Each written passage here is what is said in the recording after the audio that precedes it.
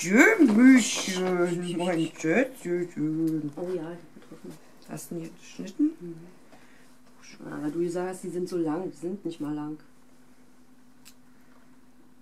Blutet er? Ja, ein bisschen. Ernst mhm. Der Arme ist nicht quält.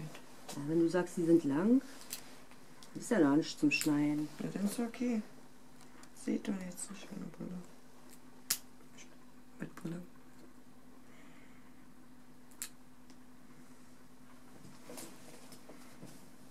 Wieso schneide ich nicht?